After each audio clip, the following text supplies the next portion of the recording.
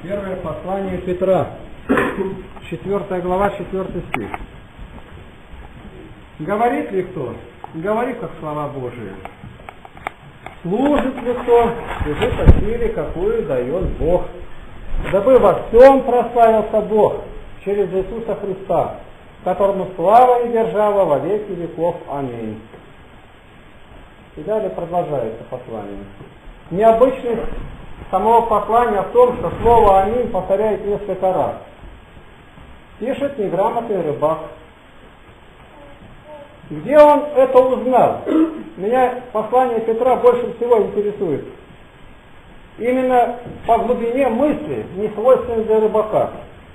Говорит ли кто, говорит как слова Божие. А что он сам знал из Слова Божия? Книги были не распространены. Хорошо он посещал храм или плохо, слышал он или не слышал. Что означает богослужение? Израиль знал. Три раза в год обязаны явиться перед лицо Божие. Страна пустела, все приходили. Знали, приходить нужно не с пустыми руками, приносили. Но глубины знания вообще не было. Христос пришел к своим, и свои не приняли. Весь смысл богослужения был в ожидании Мессии, Агнца. А когда пришел, его убили. Они не знали таинственный смысл, как вот у нас в литургии. Я гляжу и просто поражаюсь. Я прошу убрать скамейки из храма. Уже убирали, опять затащили.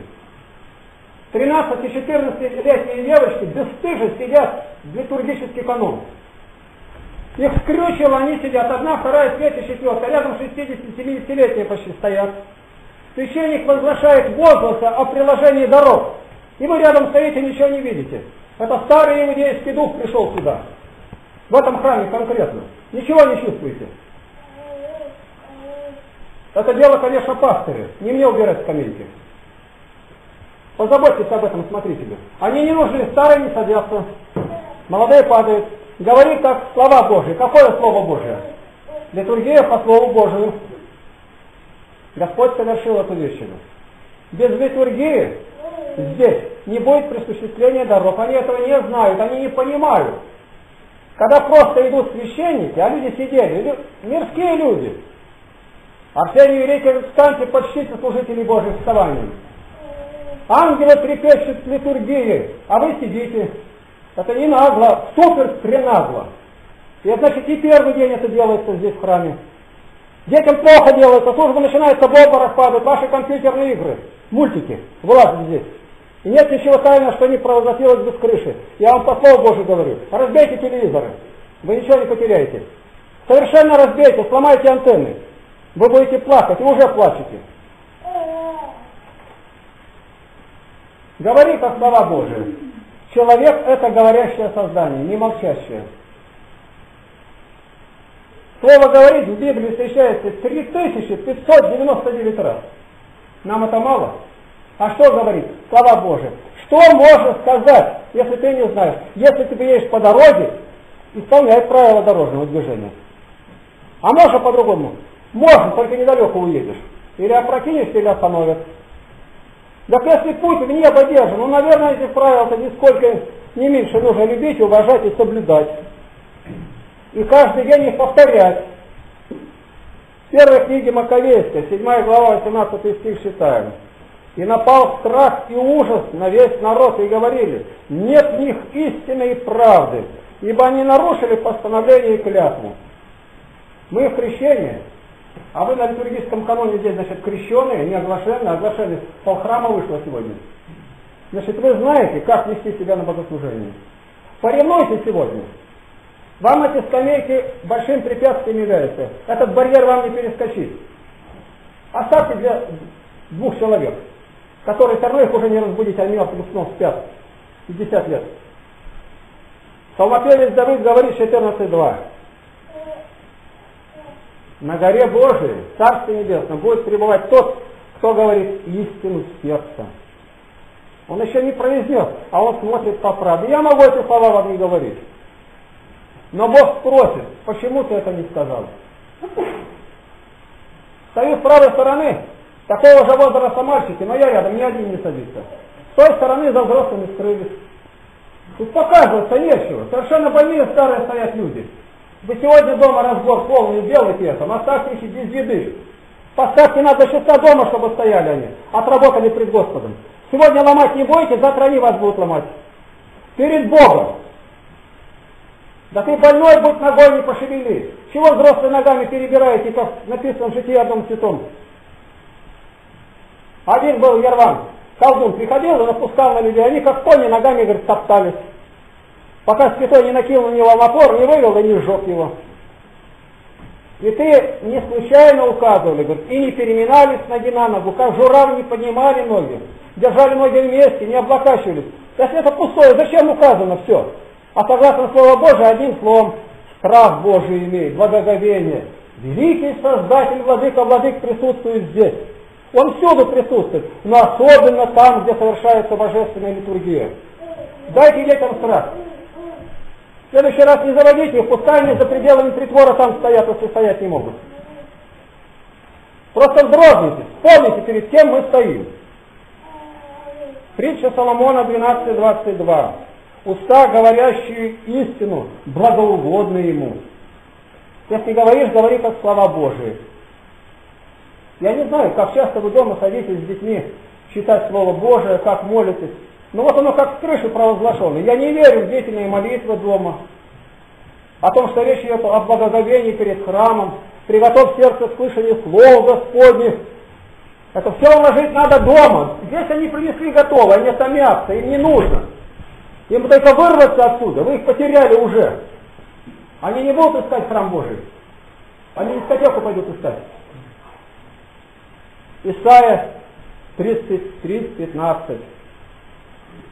И кто может жить при огне пожирающем? Тот, кто ходит в правде и говорит истину.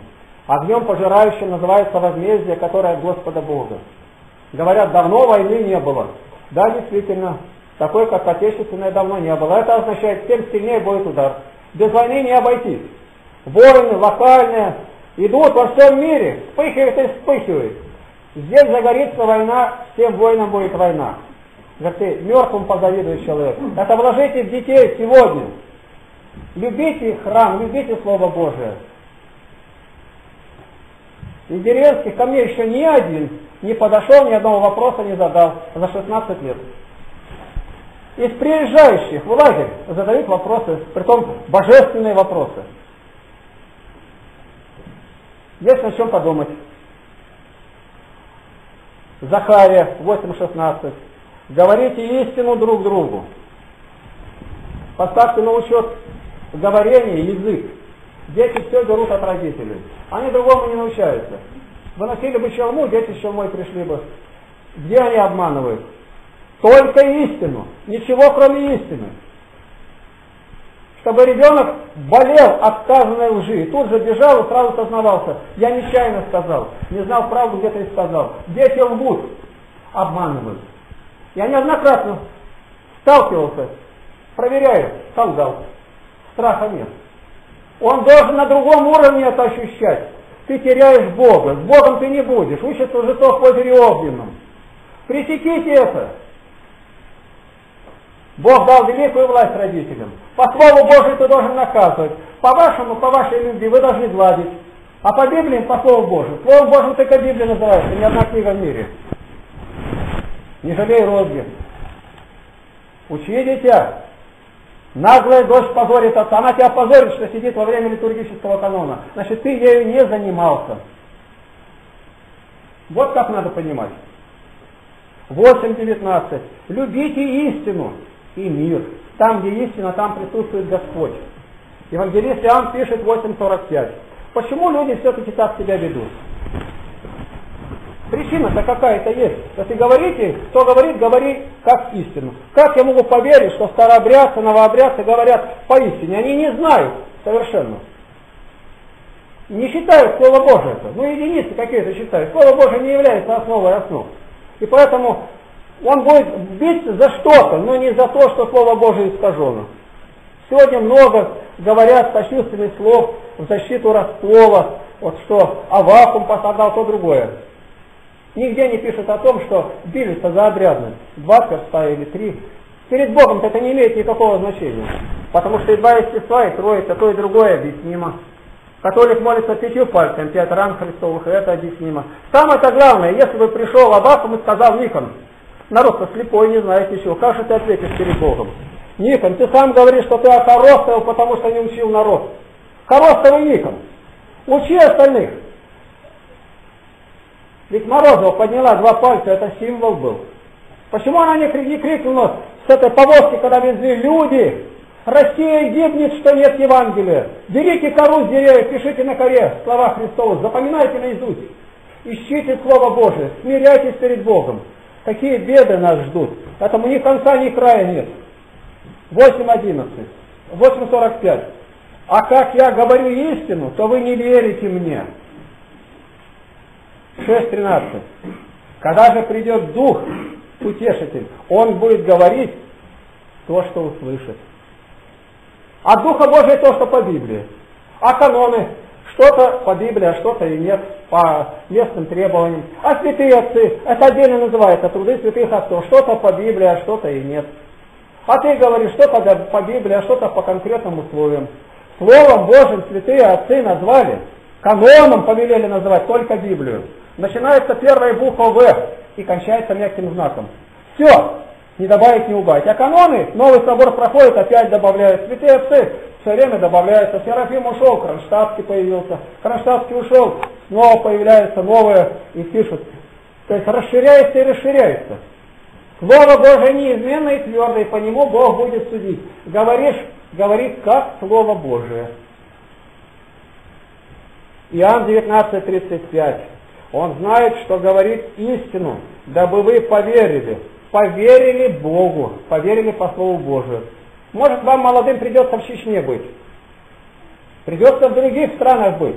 Они сразу же в первый день заставляют принять ислам. Вот считай, у нас в 18 томе я делаю полный разбор Корану. Там боялись, звонили, не выставляйте никуда книгу, они убьют, никто не убил, хожу. Мало того, стараюсь до мул довести через интернет. Потому что все это выдумка. Святые отцы Магомета называют антихристом. Игнатий Бринчанинов. Другие святые отцы. Почему? Все искажено. Он не верил, что Христос умер за грехи людей. Ко Христу относится хорошо Магомед, что он вознесся на небо, но это ложь. Если Христос не умер, то мы еще во грехах, Павел говорит. Под видом дом доброго самое злое учение всевается. Римлянам 9.1. Истину говорю во Христе не лгу. Кто может сегодня это сказать? Любого сектанта возьми, у него понятия о церкви никакого. Он говорит, церковь, церковь, а он в церкви ни одного дня не был. Если говоришь, говори как по Слову Божию. Христос говорит, создам церковь, врата ада не одолеет ее. Спроси любого сектанта, когда Бог допустил, что врата ада одолели церковь. Они не знают, что такое врата ада. Они являются вратами ада, еретики, гонители. И врата ада не одолеют. Они говорят, одолеем, теперь мы заново основываем новую секту. Вот почему для нас так важно сохранить епископа. Усильте молитву. Наши бумаги где-то застряли, или о них думают, или молятся, но нам четко Господь сказал, простите и получите. Я в это верю. Мы поминаем и епископа, и молимся до лавра, но наше состояние не совсем еще определено. 2 Коринфянам 7.14. Апостол Павел говорит о том, чтобы все говорили истину. Галатам 4.16. Неужели я сделался врагом вашим, говоря вам истину? Так хочется быть хорошим для всех. А Господь говорит, горе вам, если все вас будут говорить хорошо. Говори, говори как Слово Божие. Проверь, по Слову Божию ты сейчас сказал или нет. Ефесянам 4.25. Отвергнув ложь, говорите истину каждый ближнему своему, Потому что мы члены друг другу, члены. Ну, сами разрешите, члены мы или нет? А если члены, значит, один другого должен как, гладить только или исцелять. Мы православные, тем более старобрядцы, бреют бороду. На каком основании? По какому слову? По слову Божию Давид даже не запустил бритых, по бороды им отрезал, не запустил. Они были очень обесчещены, то есть больше, чем изнасилованы. Ты много раз это слышал, берешь в руки, в руки бритву, ножницы. Подумай, как дальше это будет выглядеть. Я тебе говорю по Слову Божию, Ты бороду берешь не по Слову Божию, однозначно. Где-то ты, может, не соглашенными будешь, это еще хуже поражение. У нас соглашенными выходи.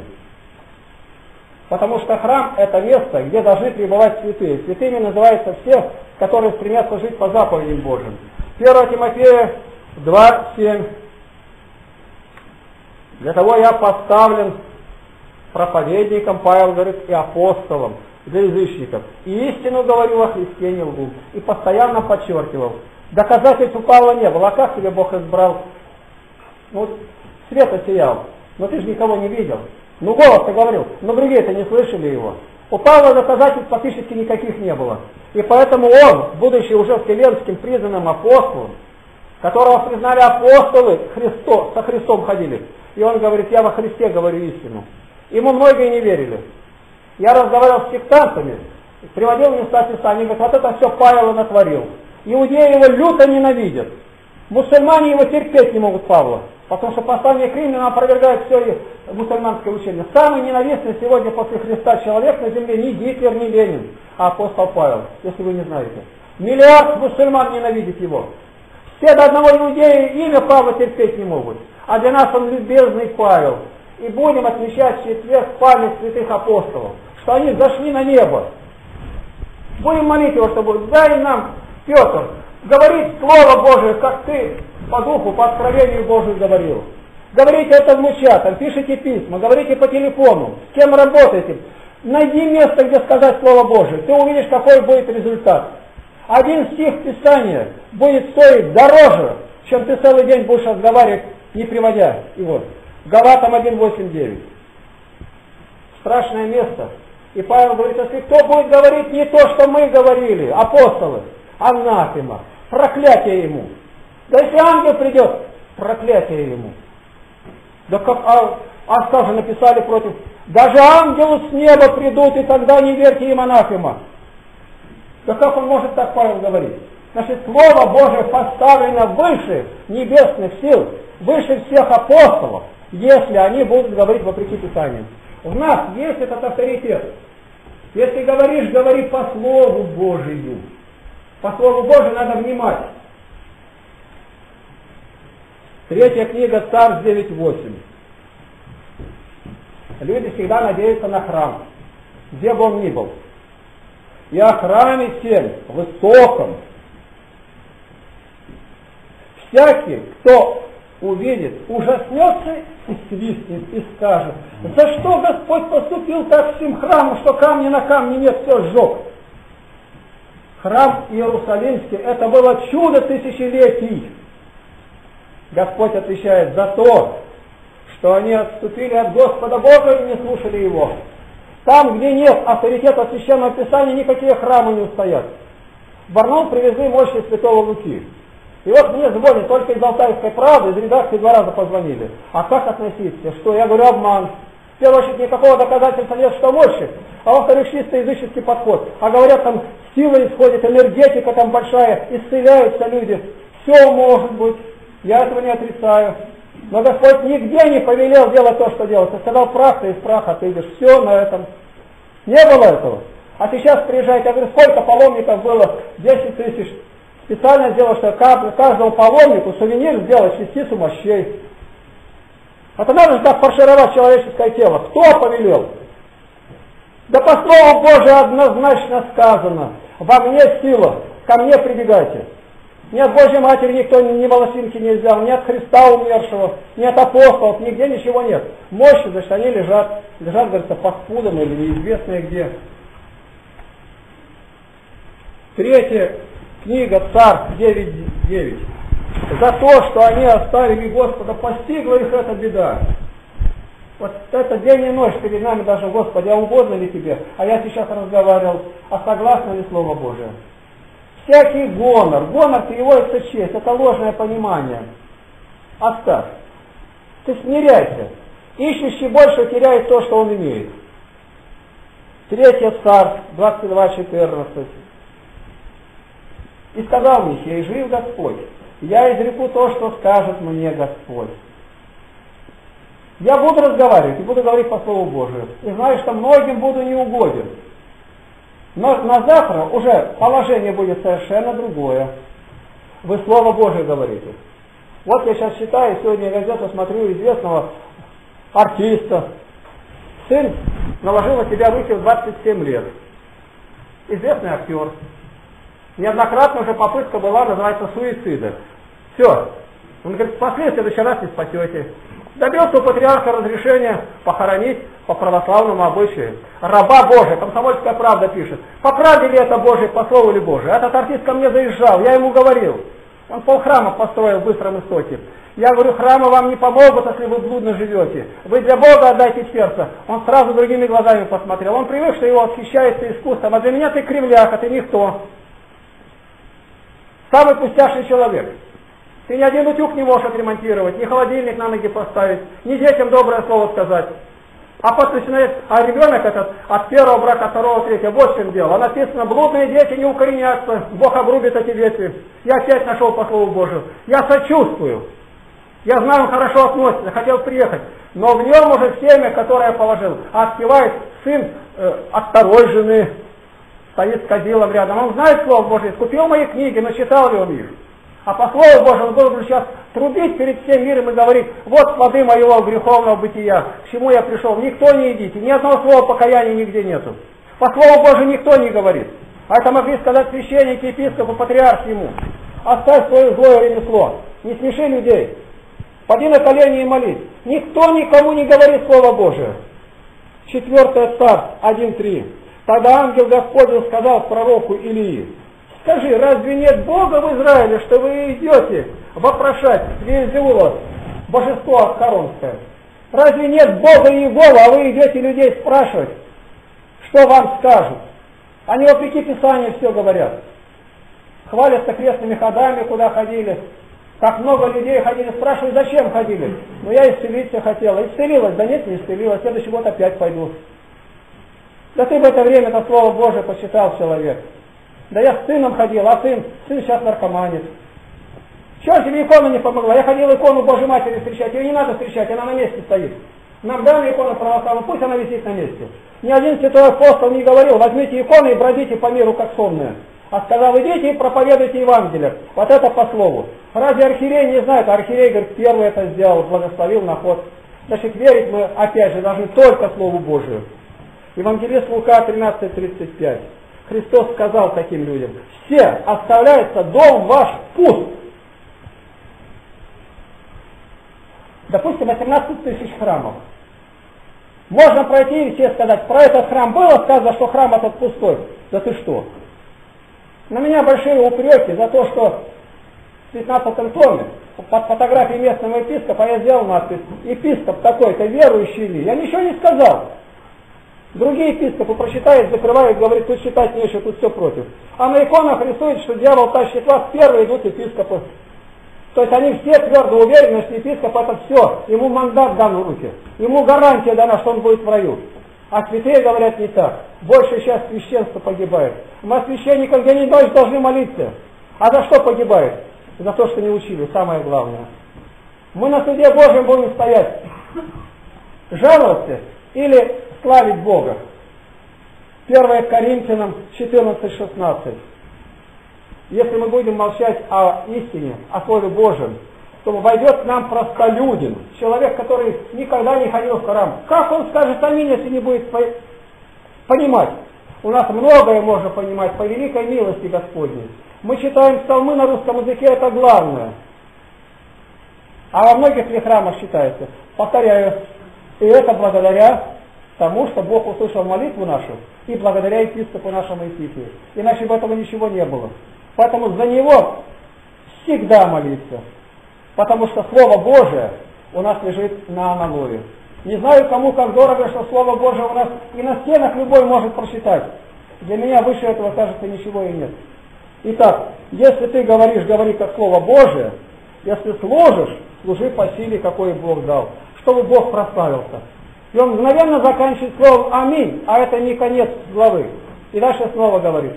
Это означает, Петр в своих переживаниях, говоря о говорении по Слову Божию, он дошел до высшего накала и этим закончил, а потом подумал, нет, я еще не договорил. Итак, в разговоре друг с другом постоянно проверяйте свой разговор. О чем говорите? Или просто судите, собрались друг друга посудить? Или прославить Бога? Аминь.